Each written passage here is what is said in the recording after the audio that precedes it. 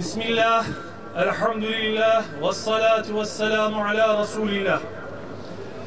Değerli müminler, İsmail Heniye'nin şehit olmadan önce bize vasiyet olarak bıraktığı beraber 3 Ağustos'ta toplanın, eriyen kanlarınızı, damarlarınızı, heyecanınızı tekrar canlandırın vasiyetine uyarak buraya geldiğiniz için ve bir şehidin toprağın altından olsa bile toprağın üstündekileri nasıl harekete getirdiğini, geçirdiğini gösterdiğiniz için Allah hepinizden razı olsun.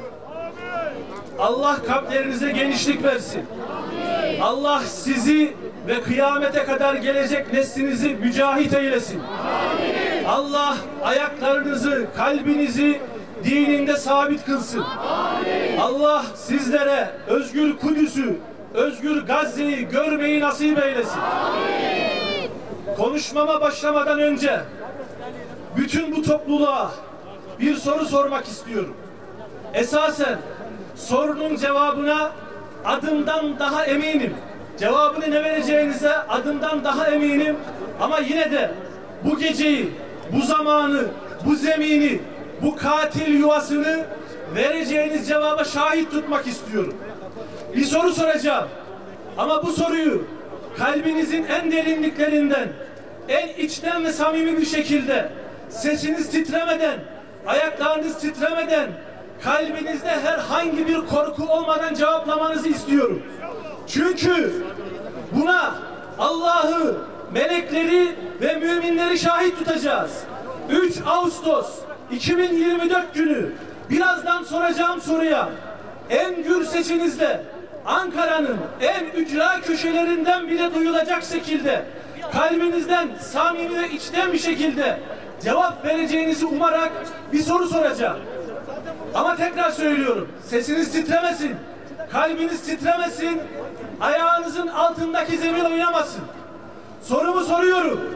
Allah için ölür müsünüz? Tekrar söylüyorum. Allah'ı, melekleri, müminleri şahit kılarak soruyorum. Allah için ölür müsünüz? Şimdi abiler, ablalar, kardeşler bu soruyu son kez soracağım. Ama neye evet dediğinizi bilerek cevap verin. Faturasının ne olacağını, bunun bedelinin ne olacağını bilerek cevap verin. İstirham ediyorum. Allah için ölür müsünüz? Abiler, ablalar, kardeşler bu soruya adı Müslüman olan hiç kimse sesi titremeden ayağının altındaki zemin oynamadan evet der. Ama biz şehadeti bugüne kadar yanlış anladık.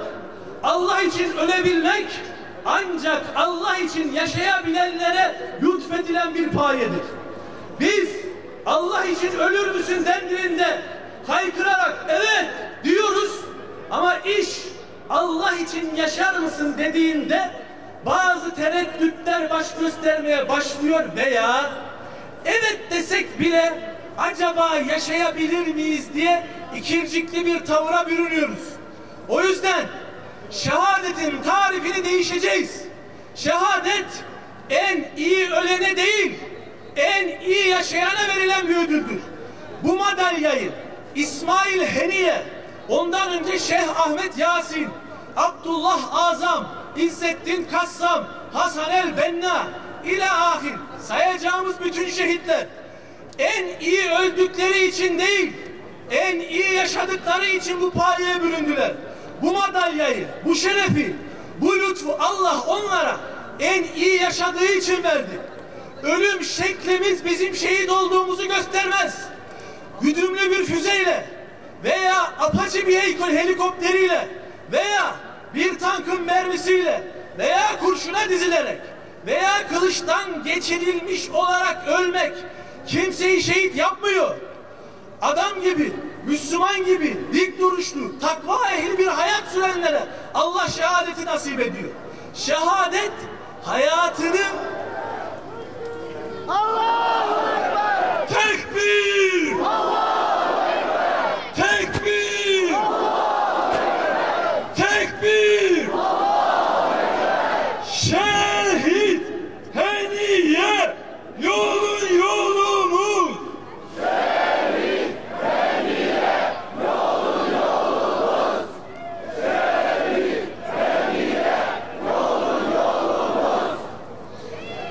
Müslümanlar, değerli müminler, abiler, ablalar, kardeşler, herkes ölünce zaten Allah'a gidiyor. İsmail Heniye ve diğer şehitlerimiz, Gazze şehitlerimiz yaşarken Allah'a gitmiş adamlardı. Biz hayatımızı ölümümüze şahit kılabilirsek bize şehit deniyor. Şehit adam nasıl öldüğünden değil, İran'da da ölse veya Bizans'ın elinde olan İstanbul topraklarında ölen Eba Eyüp El Ensari gibi 93 yaşında ölsen bile şehit olarak ölüyorsun. Çünkü şehadet ancak sabah namazına kalkma heyecanından, tesettürsüzde, tesettürdeki tavizsizlikten, dua ederkenki samimiyetten, infak ederken sanki alır gibi vermemizden, eylem olduğunda kalbimizde olan iştiyaktan, Müslümanların arasını ayırmamamızdan belli olan bir şeydir. O yüzden biz bir şehadet haberi aldığımızda billboardlara, WhatsApp durumlarına, sosyal medya hesaplarına yazdığımız o ayeti kerimenin hikayesini biliyor olmamız gerekiyor. Allah Azze ve Celle buyuruyor ya minel müminine ricalun sadaku ma ahedullahi aleyh feminhum men qada nahbehu ve minhum men yentazir ve ma beddelu tebdila yani müminlerin arasından öyle adamlar var ki o adamlar verdikleri söze sadık kaldılar. Kimileri can verdi, kimileri de sırasını bekliyor ama hiçbiri sözünden vazgeçmedi. Biz bu olayın, bu ayetin hikayesini anlamamız lazım. Şehadeti öğrenmemiz için bu hikayede karşımıza bir profil çıkıyor, bir portre çıkıyor. Enes bin Nadir radıyallahu anh sahabeden bu olayın inmesine vesile olan sahabi.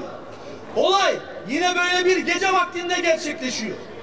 Bir vesileyle Bedir'e katılamayan Enes bin Nadir radıyallahu anh bir gece vakti az önce sizin de Allah için ölür müsün sorusuna evet diye bağırarak cevap verdiğiniz gibi bir gece vakti Allah'ı ve meleklerini şahit tutarak dedi ki Allah'ım ben Bedir'e katılamadım.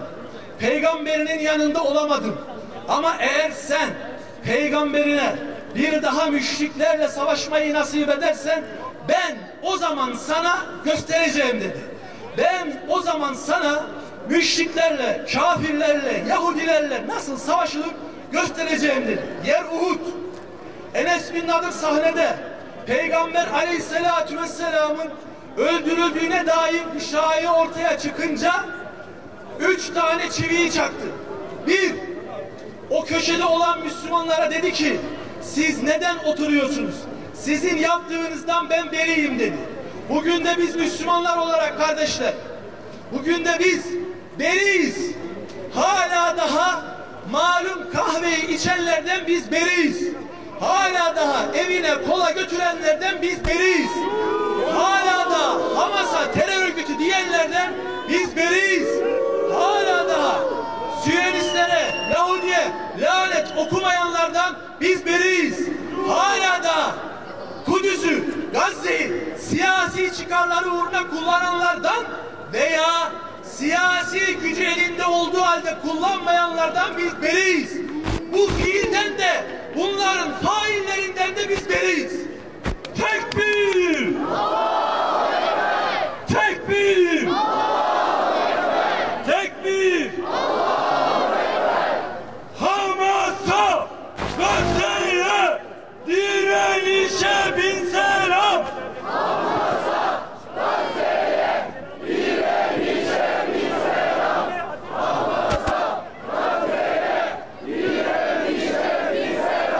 İkinci ders abiler, ablalar. Enes bin Nadir diyor ki eğer o öldüyse davası ölmedi ya.